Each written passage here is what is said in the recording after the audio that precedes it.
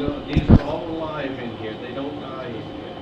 Um, we get, you know, there's a couple every so often that just, they can't make it, but you know, it's to be expected unfortunately.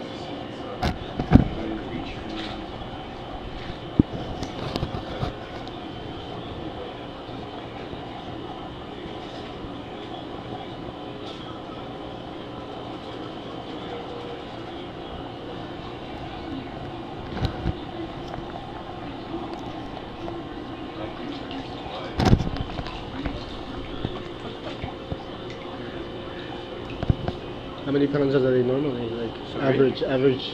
How many pounds? I gue- I'm guessing pounds? this would be one pound, one Pound? one and a half, I'm guessing, I don't know, I don't work here. I Normally, uh, what's the average? How many pounds?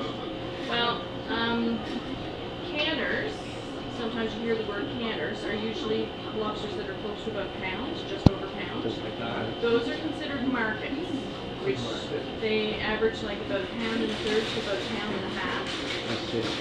And then we have selects, which are on the other side of the tank, and they're minimum a pound and three quarters up to about two pounds. But we actually can order lobster in up to fifteen pounds. Oh, It's considered Wow. a special We order. can get an order that says lobster that is fifteen pounds. Oh, yeah. We did do it. It's huge, it's huge. must be. Yeah. It's more kind of like, you know, if you were having like a Christmas party and you wanted like an event, Right, that type right. of thing. That's twice the size of babies. Oh, they're huge. and how much would that cost?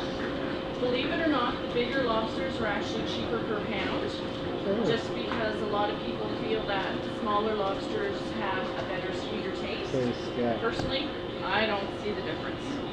You know, it tastes the same to me, but some people think tail meat tastes different than the claw meat, and Right.